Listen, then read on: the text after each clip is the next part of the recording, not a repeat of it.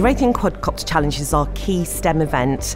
We run it yearly to try and get as many schools and youth organisations involved in a STEM activity as possible. And uh, all of our sites take part, so we actually cover all of the British Isles. It's fantastic. Quadcopter Challenge event just inspires and, and, excites children about some of those STEM technologies. What I love about it is that quite a lot of the schools, um, the children participating might not really have thought about STEM subjects, and this is a way to give them an insight into those careers.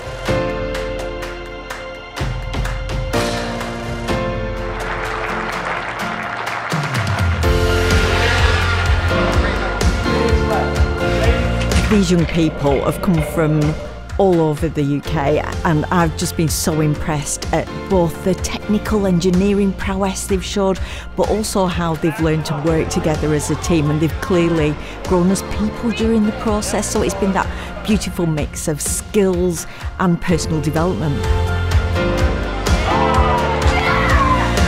Throughout the whole entire process, I've learned skills like flying the drone, obviously, building drones. I've never flown or touched a drone in my life.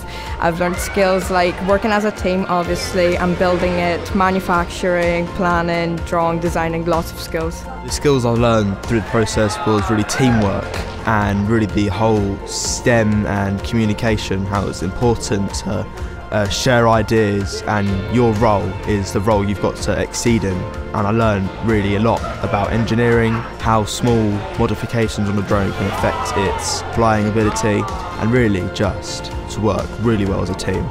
I think I've learned the best about teamwork and how to deal with stress because building a quadcopter isn't like the most easiest thing in the world to build and it takes a lot of like patience with your team but also working together to make it.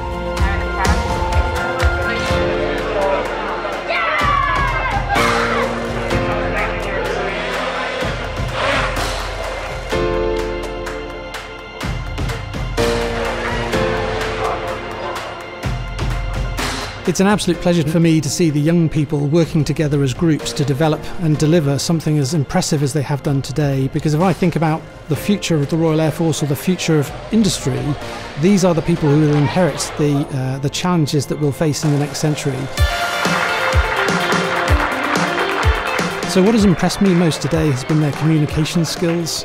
Uh, they've clearly worked hard as teams together, but the way they presented the designs and the sustainability that they've put into their models has been the highlight of the day for me today.